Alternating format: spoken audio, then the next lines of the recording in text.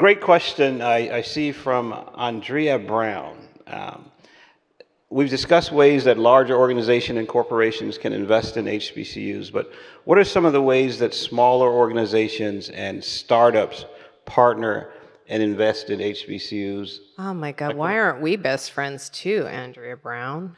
Um, I love this because part of what I keep trying to think about is she related to you?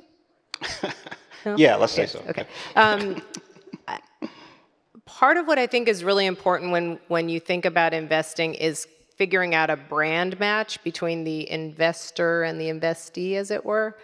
And because Bennett is nimble, sometimes I say it's it's like running a startup.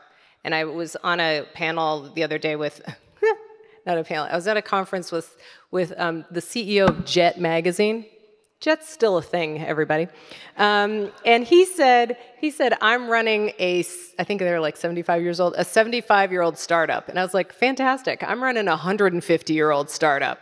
And I do a lot of ideas that I get about what we can change about our business model at Bennett. I actually really do get from startups. So I think one thing that I would love um, for startups who are interested is, you know, just again, like what have you learned as a startup? How do you operate a very lean model where you're able to um, constantly have to adapt and adjust? That's what we have to do at Bennett. Like that's what we are that we are constantly doing that. So I think there's a really um, a great opportunity for sharing knowledge as well as sharing dollars. Like they're both of those things I think would be fantastic.